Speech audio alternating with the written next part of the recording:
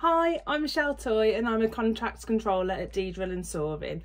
After working 20 years in the mechanical, aircon and catering industry, I decided to make the change for construction and I've loved every minute of it. I've met some amazing people, learnt some amazing new skills and I'm so excited for what the future holds.